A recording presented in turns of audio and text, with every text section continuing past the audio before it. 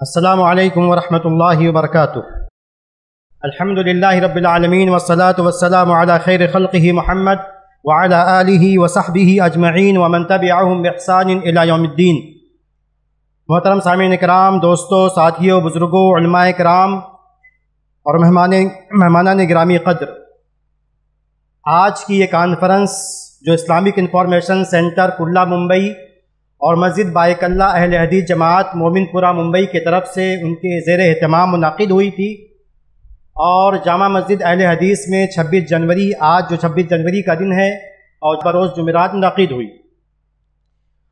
इसमें जो main theme थी कि इस्लाम का निज़ाम विरासत क्या है, उस ताल्लुक़ से बहुत सारी बातें हुई, और कुछ सिफारिशात हम इस कॉन्फ्रेंस की तरफ़ से अम कराम की खिदमत में कराम की खिदमत में असहाब हैसियत की खिदमत में और समाज के आम अफराद की खिदमत में पेश करना चाहते हैं।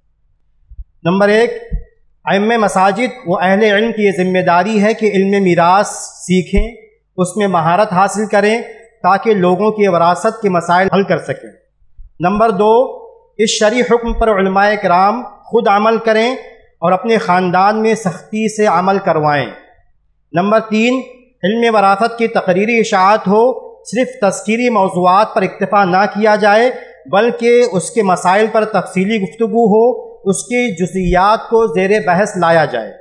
नंबर चार, इल्म वरासत की तहरीरी इशात हो, किताबों के ज़रिए पम्फलेट के ज़रिए और मजामी की इशात के ज़रिए। नंबर पाँच, इल्म वरासत की तदरीसी इशात हो, किताबों को आसान उसलूब में लिखा जाए और तरीक़ तदरीस भी दिलचस्प और आसान फहम बनाया जाए। नंबर छः इल्म वरासत, दीनी मराकज़ में, मसाजिद में इल्म वरासत के मुख्तसर कोर्स रखे जाएँ। ये मसाजिद के ज़िम्मेदारान की ज़िम्मेदारी है। जैसे आप चाहते हैं कि आपके जो मुसलियान हैं, वो नमाज़ के मसाइल जाने, ज़क़़त के मसाइल जाने, तहारत के मसाइल जाने, इसी तरह मसाजिद के ज़िम्मेदारान की ज़िम्मेदारी है कि वो अपनी मसाजिद में या दीनी मराकज़ में वरासत के मसाइल पर भी कोर्स, मुख्तसर कोर्स रखें। नंबर सात, जमीयत व जमात दीनी दावती इदारों में की ये ज़िम्मेदारी है कि वहाँ तहरीरी फतावों का इंतज़ाम किया जाए।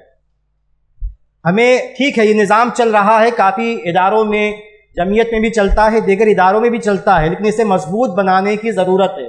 इसमें मज़ीद निखार पैदा करने की ज़रूरत है। नंबर आठ, वरासत से मुतक घर के अफराद माहिर वरासत के साथ काउंसलिंग मीटिंग करें। यानी अगर कहीं कोई मसला पैदा होता है, सिर्फ़ कहना यह है, इस सिफारिश के ज़रिए कहीं कोई मसला पैदा होता है तो आपस में झगड़ने की ज़रूरत नहीं है, बल्कि आप अपना मसला लेकर जमीयत या किसी भी दीनी इदारे की जो वहाँ कमेटी, उलमा कमेटी उसके पास आए उनसे जो है आप मीटिंग रखें ताकि वो आपकी काउंसलिंग कर सकें, आपको मसले का हल निकाल कर बता सकें। नंबर नौ समाज के बासर कराम व साब सरबत तकसीम वरासत के लिए मुमकिन दबाव डालें। क्योंकि देखिए, पहले वक्तों में इस, थोड़ा तशरी है कि पहले वक्तों में समाजी दबाव काम करता था। कि अगर फला आदमी कोई गलत काम कर रहा है तो हम उसका समाजी बाइकाट करते थे। आज ये समाजी ताना बाना कमज़ोर हो गया, जिसे दोबारा मज़बूत करने की ज़रूरत है कि समाजी बाइकाट किया जाए। जो आदमी अपनी बहनों को अब या अपनी बहनों को हक नहीं देता है मीरास में से, ऐसे आदमी को कुछ कहा जाए, उससे उससे ताल्लुक ताल्लुक ख़त्म किया जाए, उसे ऐसा लगे कि उसे समाज से अलग थलग कर दिया गया है। नंबर दस, कानूनी विरासत की तनफीज़ के लिए ख़वातीन का खसूसी तौर पर जहन तैयार किया जाए। क्योंकि देखिए, सबसे ज़्यादा खातून, ख़वातीन ही विरासत से महरूम हैं। लेकिन ऐसे केसेस भी हैं कि सबसे ज़्यादा परेशान कन अंसुर सबसे परेशान करने वाली चीज़ वरासत की तकसीम में ये खातन घर की खातन होती हैं। वही तकसीम नहीं करने देती हैं। भाभी नहीं चाहती कि ननद को मिले। तो इसलिए सबसे ज़्यादा उनकी जहन साजी की ज़रूरत है कि उन्हें शरीयत के अहकाम की अहमियत बतलाई जाए। नंबर ग्यारह, समाज के तमाम अफराद से गुजारिश है कि अपने अपने घरों में रब के फरामीन वरासत को नाफिज करें। यानी हम में से हर इंसान की ज़िम्मेदारी है कि हम अपनी ज़िंदगी में, अपने बाप की जायदाद में, वरासत के अहकाम को नाफिज करें। इस मामले में शैतान के किसी बहकावे में ना आए कि पैसा मेरा, मेरी दौलत कम हो जाएगी, तकसीम हो जाएगी, मैंने कमाया है, बाप के साथ तमाम चीज़ें वसवसे ख़त्म कर दीजिए। और जो भी तरका है, बाप का उसे तकसीम कर लें, ख़ास तौर से जो समाज के अहले सरवत हैं। बारसूख हैं, अहले इल्म हैं, बड़े लोग हैं, उन्हें आगे बढ़ना चाहिए और अपने घर की वरासत में जो भी तरका है, बाप का या किसी का उसे तकसीम कर देना चाहिए ताकि ऐसी मिसालें लोगों के लिए लायक इब्तदा हो, लोग उनको देख कर भी कदम उठाएँ।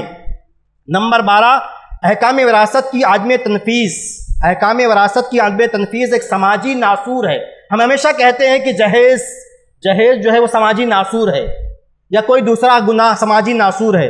लेकिन हकीकत ये है, जिस पर हम हम एक, मैं ये कहूँगा कि सैकड़ों साल तक हम खामोश रहे हैं। वह है विरासत की अदब तकसीम, जिस पर हम खामोश रहे हैं। दानिस्ता, जानबूझकर, क्योंकि मेरा नुकसान हो रहा है। मैं बोलूँगा तो मेरी जायदाद, मेरे बाप की जायदाद में से बहन को देना पड़ेगा, फूफी को देना पड़ेगा। इसलिए हम खामोश हैं। तो ये ये समाज का नासूर है। नासूर यानी कैंसर।